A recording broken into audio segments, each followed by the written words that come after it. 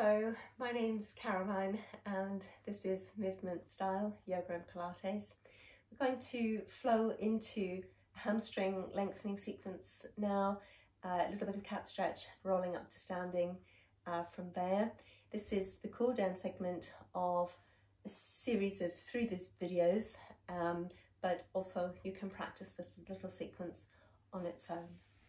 So let's come down onto the back we're going to set up our neutral spine position, so a little spotlight on the tailbone, shining to between the heels, space at the back of the waist, spine through the back of the ribcage in contact with the mat, length through the back of the neck, space between the chin and the top of the breastbone. Our broad and wide scoop and hollow in the lower abdomen, our imaginary belt fastened, and we're just going to pop a resistance band over the sole of the right foot. So ribs squeezing in towards the spine, waist working. And then from here, from out of this knee float position, we're going to lengthen upwards between the sitting bone and the heel to stretch the back of the leg. So now in the other two videos that we've been doing, we've been thinking a lot about the connection between the sitting bone and the heel, but we've been actually contracting and engaging the muscles through that pathway. And this time we're opening the muscles through that pathway. But again, see if you can really find a connection. Sitting bone, flowing up through the muscles in the back of the thigh, connecting over the back of the knee into the calf and on through towards the heel, rather than that you're just trying to push your heel into a random space somewhere above you. Now, earlier in the other videos, I've been talking about when the core strength is engaged, the weight of the spine is really suspended within the core. We feel the weight of our sitting bones on the mat, shoulder, girdle, head, but the weight of the spine is really contained within the core. Now, when we stretch the leg up, it tends to be that people let the pelvis push down into the floor, and you may be able to see that I'm really working not to do that. I'm using the broad and wide scoop and hollow, the strength in the back of my waist and around the base of my rib cage to prevent that from happening. Now, up here, we're going to think about the leg circling exercise. And it's very similar to the strength that we worked in the twist in the mat work section in the second video. But here, instead of using the strength to twist the spine, we're using the core strength to maintain the pelvis in position.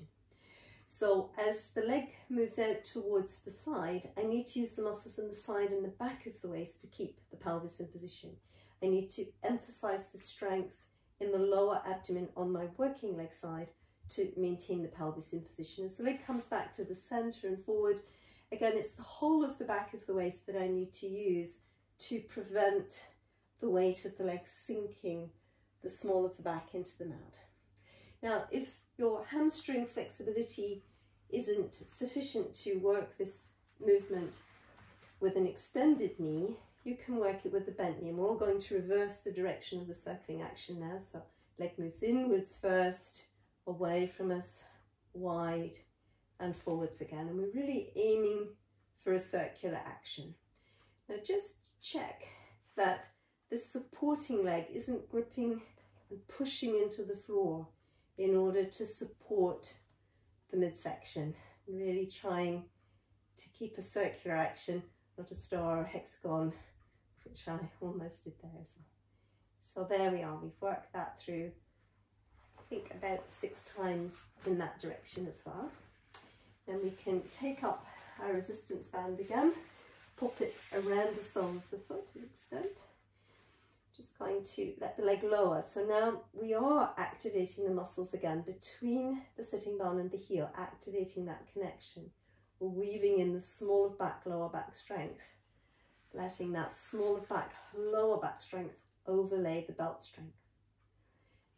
And the resistance band is there potentially to protect the lower back if the muscles shouldn't be strong enough.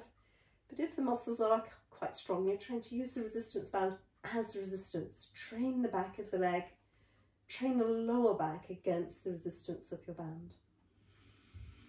If you feel strong, if you feel steady, if the base of the spine is well supported, you can open up the range of movement. As you're releasing up each time, again, just thinking about maintaining your neutral spine, holding on to the back of your waist, holding on to your broad and wide scoop and hollow. Again, we can just check that the supporting leg isn't stabilizing us. We stay stable when we take it off the floor. And releasing. Good, well done. So we've done that side. And then just thinking about the second side. So we quickly come through into our knee float or knee fold position. Neutral spine in place, sense of the spine being really supported and suspended within the core muscles, and the connection between the sitting bone and the heel again. Now, if you haven't got a resistance band, you might not have a resistance band, of course you can still work that stretch and lengthening without the resistance band. Resistance band just helps to guide you a little bit and does give you a little bit of support. It's helpful, takes some of the weight of the leg away, and that allows the muscles to stretch just a little bit more readily. But as you can see, I'm working it without the band. If you've got a band, continue with the band. So again, core muscles working quite strongly. We can get up to a nice extended position and then again the leg moves slightly forwards it moves slightly wide and we have to work really hard in the side and back of waist and particularly in one side of our pelvic pelvis to hold on to the position of the neutral spine as the leg is circling in the hip joint. Now we circled the leg in the hip joint in the second video as well and we were really using the muscles, glutes, low glutes, to circle the leg in the all fours and here as well. Control the action of the leg using the glutes and the low glutes.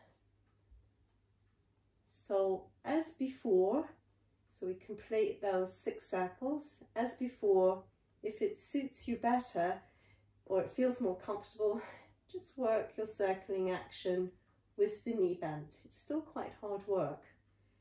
And again, you're still working to activate that movement around the hip joint using the gluteal muscles, you know, helping to stabilize you and also bring the leg out, pelvic and lower abdomen working.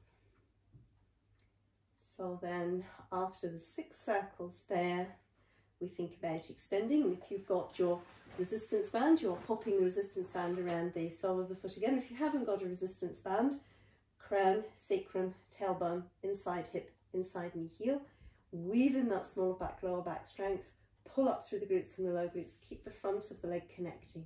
Breathe in to release back up. Breathing out to power down. So just going part way until you get used to feeling that you've really got the strength working. So there's no change of weight between the pelvis and the floor. In some ways, I think it's easier when you haven't got the resistance band, when you bring the other leg away from the floor. But in either instance, it helps you to know that this leg isn't stabilizing the pelvis by working. These muscles as well keep threading the strength of the leg back into your hip joint. Just take care if you've brought the other leg up that you're not letting it drift forwards to counterweight the action of this leg. You keep it right above the hip weight, the hip joint, sorry, um, so that it's not counterweighting and helping you. and then last one. So again, we're going to hug the legs in towards us, just circling the hips on the mat two or three times there and releasing. And then from here, we're going to roll over, come onto one side and send the hips back and towards the heels. Once again, just releasing the lower back, stretching out the spine.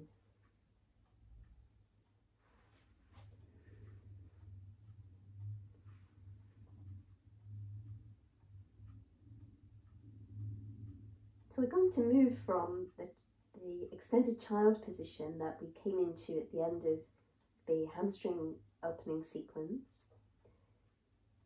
Before we come forwards, thinking about broadening out through your pelvis and broadening out through the ribs and the shoulders, collarbones nice and open, just letting the shoulder blades move in the direction of the sitting bones.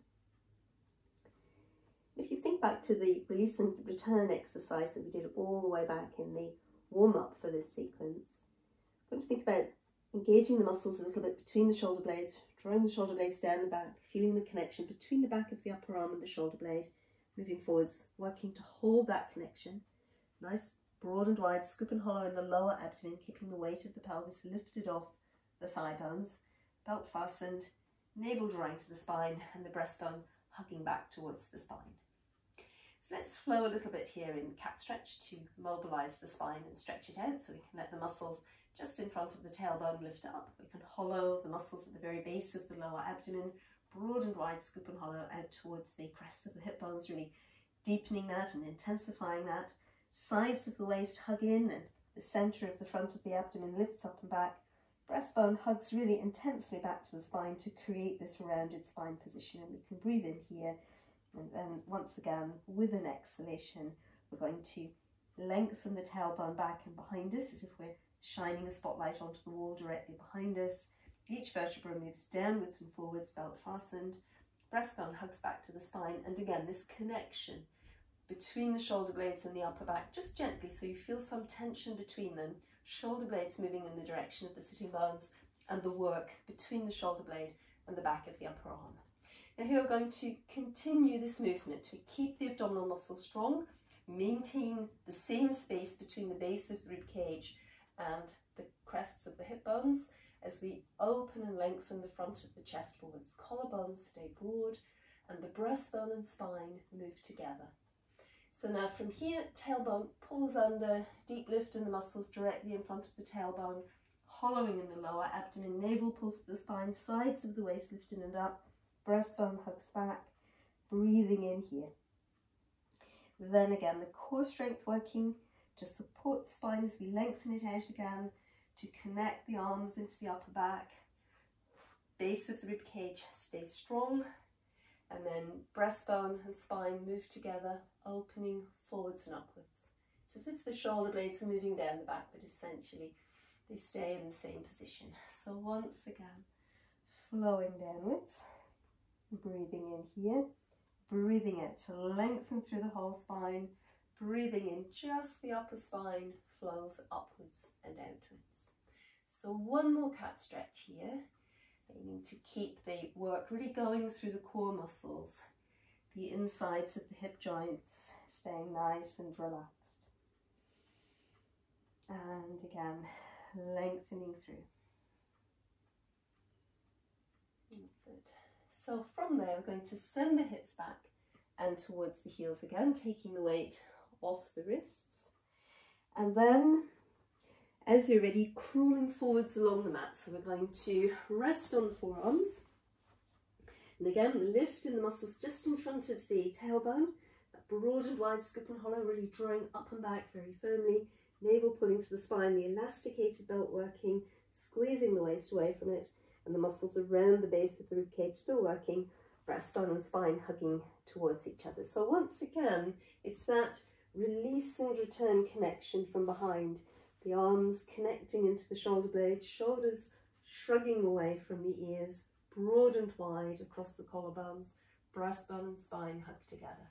So our exhalation lengthens the spine forwards and upwards. We can breathe in here, breathing wide, and once again breathing out to flow back down again. So now just as with the cat stretch in the upward facing cat, we're aiming to keep this part of the body exactly the same, the distance between the base of the ribcage and the crests of the hip bones staying the same. So the spine is lengthening forwards, pelvis is broad, ribs are broad and wide, collarbones and shoulders are broad and wide. So the spine has free passage. Breathing in up here, breathing out to flow back down. You may be able to see that the movement is coming from out of the core strength, coming from out of the upper back strength. And as I lengthen the spine and extend it, my upper back muscles are working, it's that same strength that allows the spine to hyperextend or arc.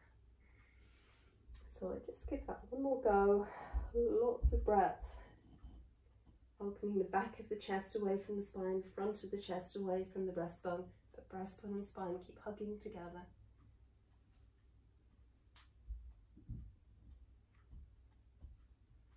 And flowing back down. And once more, just stretch right back, releasing the lower back. And from here, we're going to think about rolling ourselves up to standing. So if you have just done the hamstring opening sequence in the videos, be quite open already in the hamstrings. If you haven't, you might prefer to take a little bit of support through bricks or blocks in the forward bend.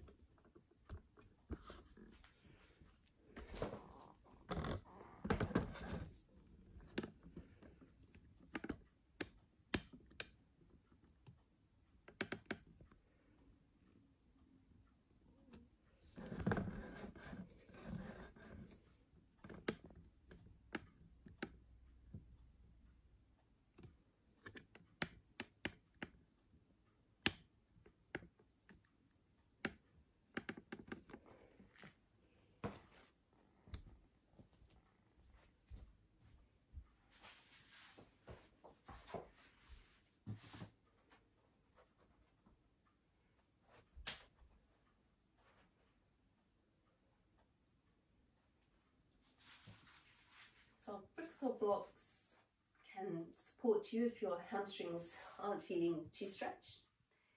Let's just bring them in front and still use your core strength to support the weight of the trunk of the body, even if you've got bricks or blocks, not really there to lean into too much, but to take the, the tension, stress out of hamstrings if they're really not too flexible. We're just going to spend a few moments here just to, again, feel the weight as even as we can between the heels and the balls of the feet. And the feet just aligned underneath the sitting bones, so this connection again, sitting bones and heels.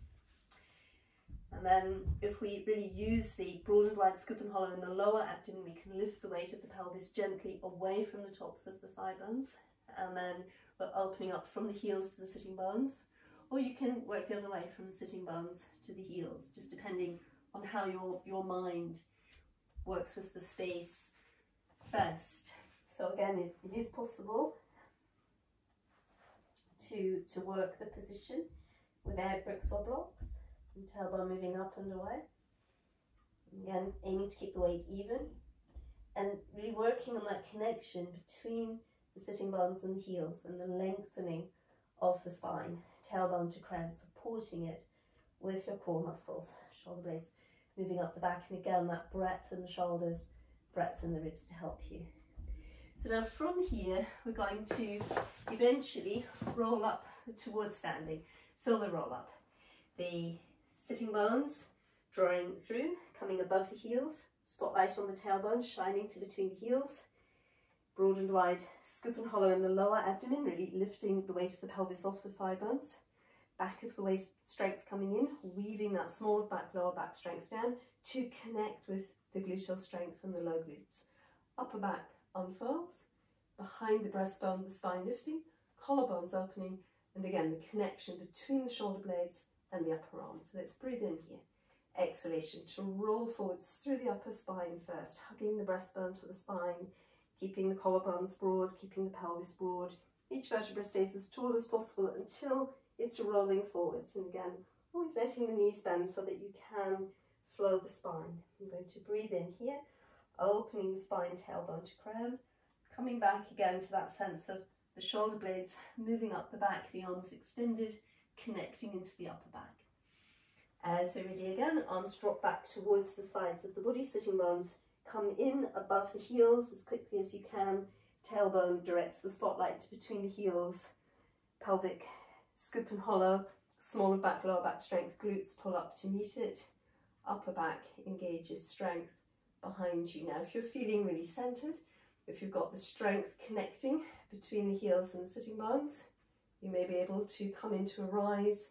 You may be able to release the arms up, heels lowering, arms coming down. So we'll do one more of those. Rolling forwards, letting the spine have free passage. Using the core strength to control each vertebra as you flow through. Once again, keeping the pelvic strength going, that broad and wide scoop and hollow, lengthening the sitting bones back, opening the sides of the trunk forwards, shoulder blades move up the back in the direction of the sitting bones, hug the breastbone and the spine together. Once again, as you're ready, breathing out, sitting bones come in above the heels, spotlight on the tailbone, back of the waist working, gluteal strength pulling up, scoop and hollow in the lower abdomen, arms connect into the upper back, connection between the sitting bones and the heels. May be able to come into that rise, arms flowing up, lots of length through the body. Keep your gluteal muscles working to control lowering the heels.